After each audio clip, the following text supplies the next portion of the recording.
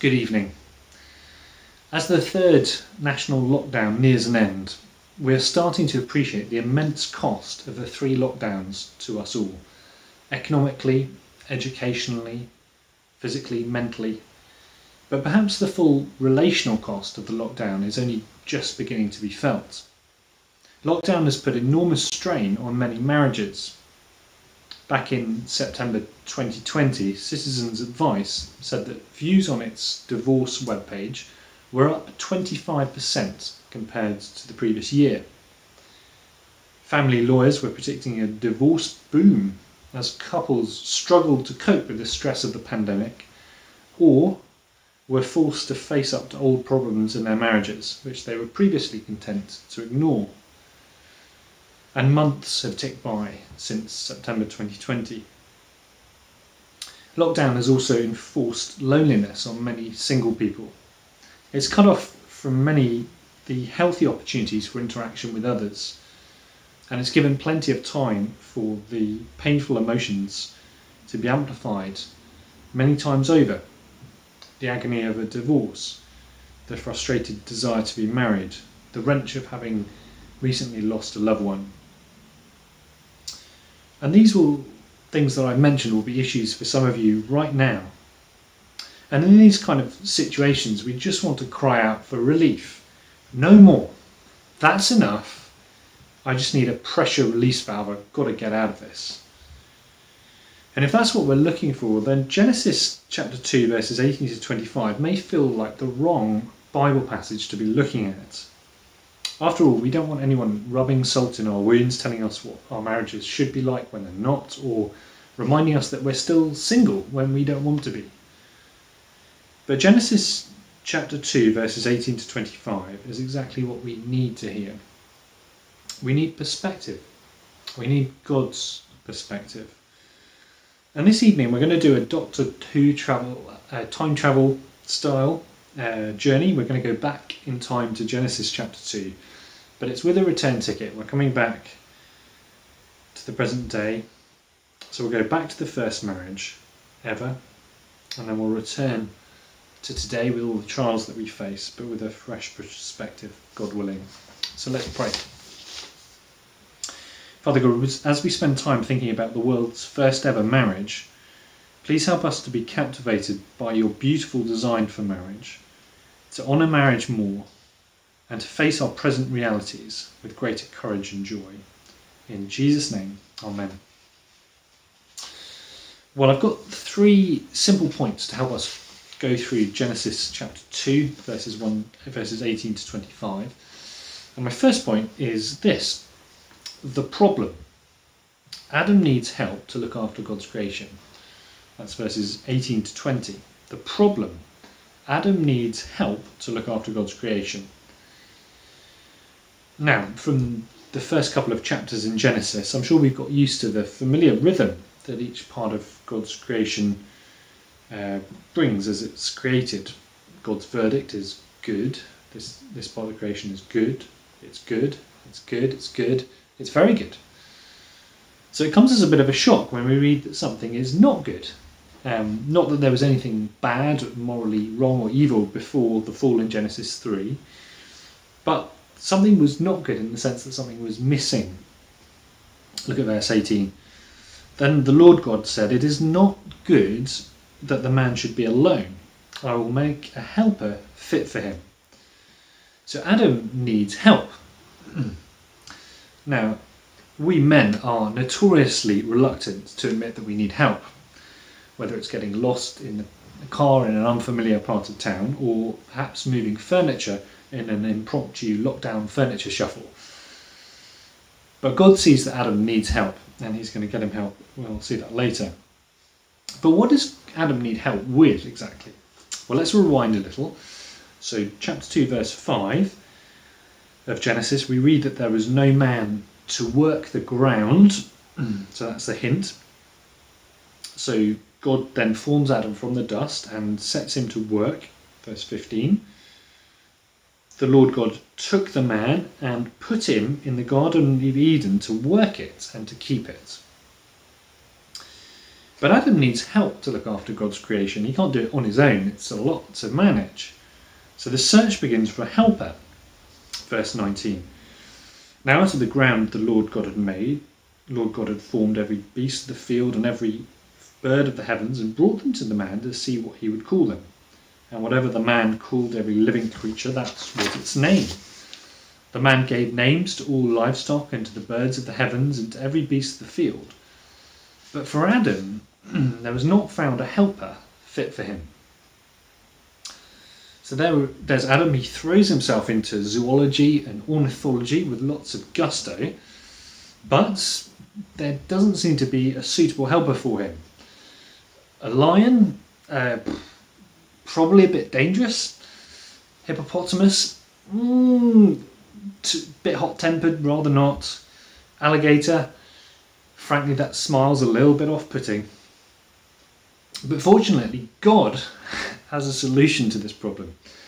We read in verse 18 that God Himself will make a helper suitable for Adam, someone who will uh, help him to bring up many children as well, to help him in the task in the future.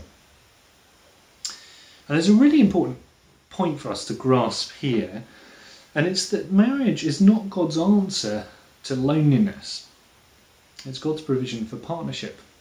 Marriage is not God's ultimate answer for loneliness, it's God's provision for partnership. You see, the issue for Adam here was not that he felt subjectively alone. If you think about it, he probably didn't feel alone because Genesis 2 was before the fall and he was in perfect communion with God. But he was objectively, physically alone, on, as in on his own, and God had called him to look after all the creation, which was far beyond what he could do on his own. So God did not create Eve to meet Adam's emotional needs primarily, but rather to help Adam care for creation, both by her own contribution as they work together, and then by having children with him. And I think this point has big implications in terms of the expectations that we place on our marriages or on the hope of a future marriage if we're not married and we would like to get married. And I'm going to say this carefully, but I, it's important, I think, to underline it. Marriage was not created by God to take away loneliness or to fulfill our deepest emotional needs. Certainly, good marriage can help combat isolation and loneliness. But God has also given us other good relationships that help with those things, like wider family and good friendships, and the church family as well. Healthy marriage always has an outward focus. And for Christians today, this is um, not just looking after God's good creation, which is what Adam and Eve were called directly to do. And I suppose today that would involve caring for our natural environment and uh, the order, good order of human society. But also for Christians today, we're involved in the kingdom work of seeing God's kingdom grow, of growing the church by sharing the good news of Jesus with others. So that's the problem. That's the problem. Adam needs help to look after God's creation. My second point is this the solution. God gives Eve to Adam to help him the solution. God gives Eve to Adam to help him. That's verses 21 to 25. Now, I don't know if you've ever thought about it in this way, but the first ever marriage was actually an arranged marriage. It was beautifully and purposefully arranged by God. Um, look at verse 21. So, firstly, God makes Eve from Adam. Verse 21 So the Lord God caused a deep sleep to fall upon the man and while he slept, took one of his ribs and closed up its place with flesh. And the rib that the Lord God had taken from the man, he made into a woman and brought her to the man. So in verse 7 of chapter 2, God makes Adam from dust. But here, God makes Eve from Adam. So God makes Eve from Adam. But secondly, God makes Eve for Adam. Look at verse 22 again. And the rib that the Lord God had taken from the man, he made into a woman and brought her to the man. So God here is like the father of the bride at a wedding, giving away Eve, his daughter, to Adam. And Adam is thrilled to bits. Look at verse 23. Then the man said, This at last is bone of my bones and flesh of my flesh. She shall be called woman, because she was taken out of man. You see, Adam wasn't so thrilled with the lion or the rhino or the alligator, but he's thrilled with Eve. She's wonderful. Praise God for Eve. She's the companion and the partner he's been desperately waiting for, the one who is like him, even from him, and yet different to him.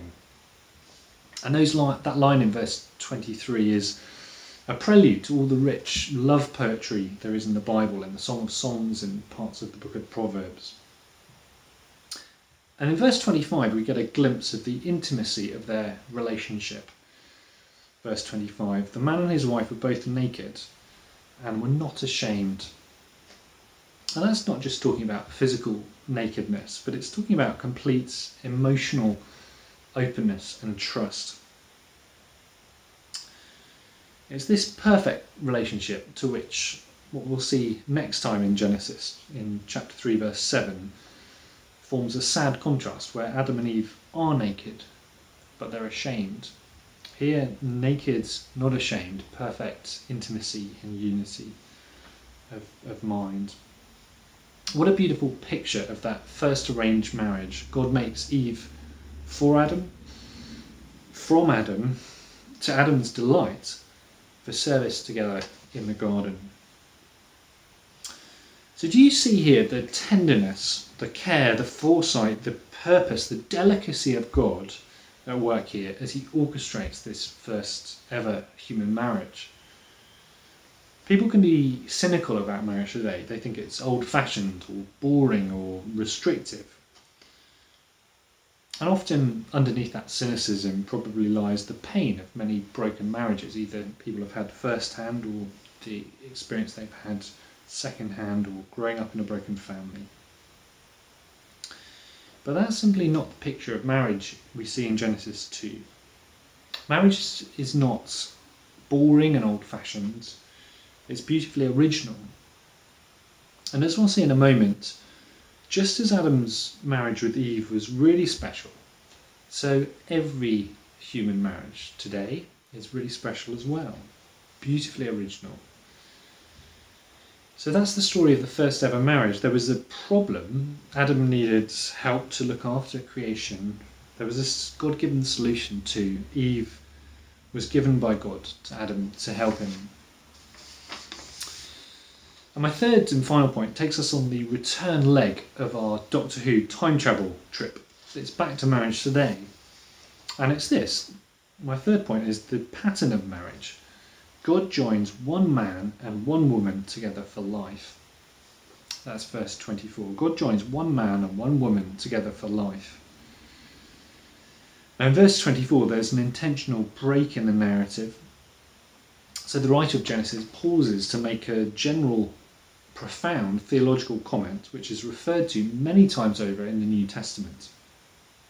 Verse 24 Therefore a man shall leave his father and his mother, and shall hold fast to his wife, and they shall become one flesh. So the writer of Genesis is saying that what happened to Adam and Eve in that first human marriage is the pattern for all human marriages for all time. I'll say that again. What happened to Adam and Eve in the first ever human marriage is a pattern for all human marriages for all time. The pattern. Now, some things were quite obviously unique about Adam and Eve's marriage. I mean, the creation of Eve from Adam was unique. Secondly, Adam and Eve's marriage was arranged. Uh, marriages today can be arranged, but they don't have to be. Thirdly, Adam and Eve had no parents to cleave, to, to leave before they cleaved together. But verse 24 insists that their marriage forms the theological pattern for all human marriages to come, everywhere for all time until Jesus comes back. So here's God's blueprint for marriage, and we'll look at each of these um, parts in more detail and apply them as we go. Firstly, there's the public recognition of marriage as one man and one woman leave their respective families to form a new family unit. Secondly, there's the passionate commitment of marriage as the couple hold fast to each other. And thirdly, there's the profound union of marriage as the man and woman become one flesh. And these three things happen in every marriage between one man and one woman, regardless of whether or not people acknowledge it, regardless of what they believe indeed, because marriage is given by God as an ordinance of creation for everyone. So let's look at um, each of these three points and consider the implications. Firstly, marriage, the public recognition of marriage. Verse 24 Therefore, a man shall leave his father and his mother and hold fast to his wife, and they shall become one flesh. Today, we often approach marriage very individualistically. We see marital privacy as a sacred right, and married couples expect to be given space, and others dare not ask too many questions about their marriage for fear of coming across as nosy. But I think for every one busybody who sticks his or her nose into other people's marriages too much, there are probably 10 of us who feel far too comfortable walking by on the other side when we sense that a couple's marriage is in serious difficulty. I remember speaking with one man who bravely shared with me the story of the failure of his first marriage. He and his wife had got into real difficulties in their relationship but no one had helped them. And time moved on, the relationship um, got more strained, the difficulties became insurmountable, and eventually they split up and they were divorced. Now, I think it's easy to point the finger at this man and criticise him for not working through the issues that he faced with his wife. But surely the better question to be asking is this when he needed help, when he and his wife needed help, where was the help that they needed? You see, healthy marriages are the responsibility of human society, not just the couple, and they are the responsibility of the whole church family, not just the couple. Single people, I think, can play a very important role here too, because you can ask more easily to married couples, How is your marriage going? and not be perceived by them as being critical in a way that it's more difficult for those of us perhaps who are married to do unless we know um, the couple well. So, do you know a married couple who are really struggling with their marriage during lockdown? Could you prayerfully consider one thing you could do to help them this week? Or do you know someone who's about to get married or someone who's just got married? Surely now more than ever, with the current climate and circumstances we're in, they will need your support. Brothers and sisters, let us not be content just to speak highly of marriage as an institution.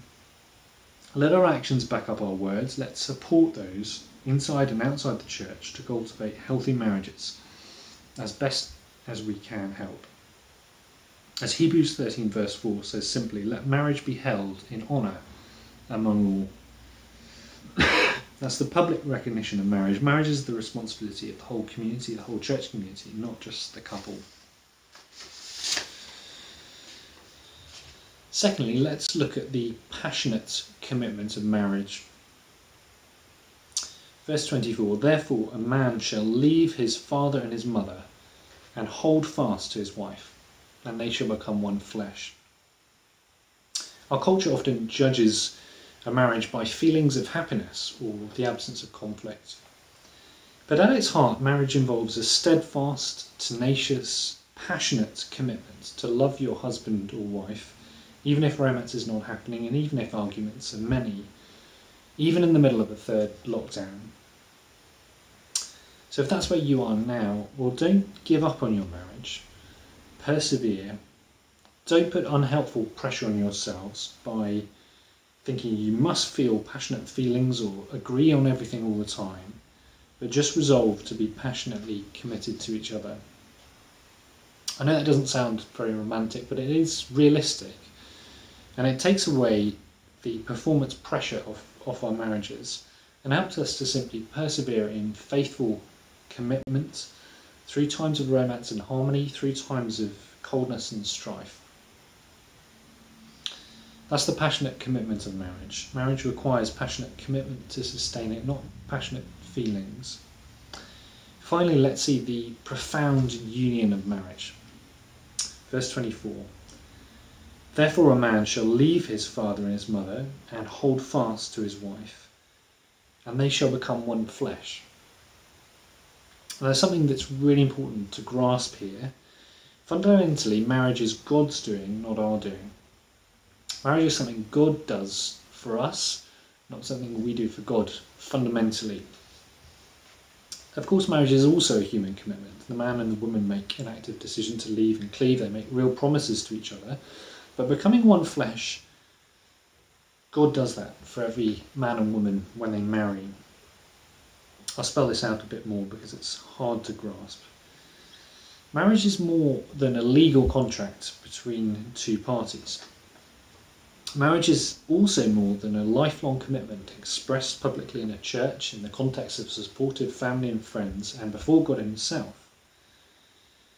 Marriage is actually God's doing as He unites the man and the woman together in one flesh union, of which sexual intimacy is the deepest human expression. And this one flesh status is not something uh, kind of marriage ideal that we need to become or we need to live up to. It's given to us when we marry, when God joins us together.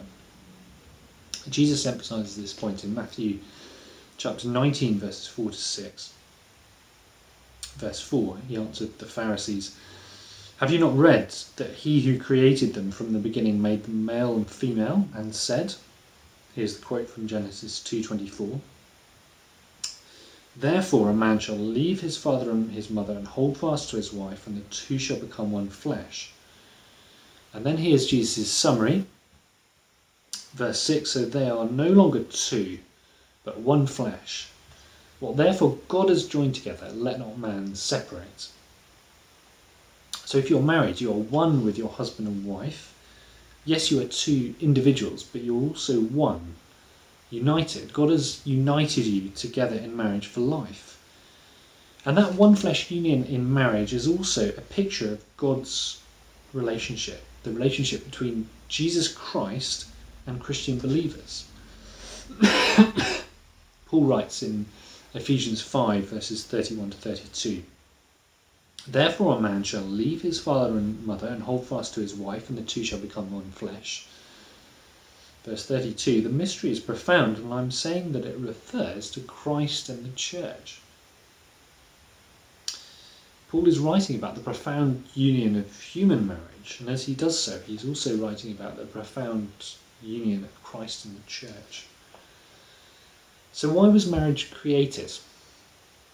Well, it was created by God as a one flesh union between a man and a woman for life. It was also created by God to picture the spiritual union between Jesus Christ and his church forever. And if you're a Christian believer, that includes you.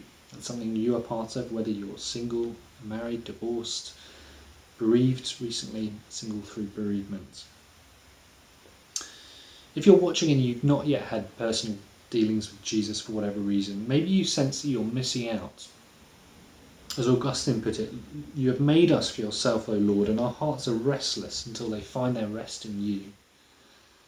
And maybe it's high time for you to come to Jesus, that he might join you to God, not just for this life, but after, through death and into eternity. Let's pray. Father, we thank you for the wonderful gift of marriage. May we as a church family honour marriage, honour you through our marriages, and may our marriages point everyone around us to the great marriage on the last day between Jesus and his church. In Jesus' name, Amen.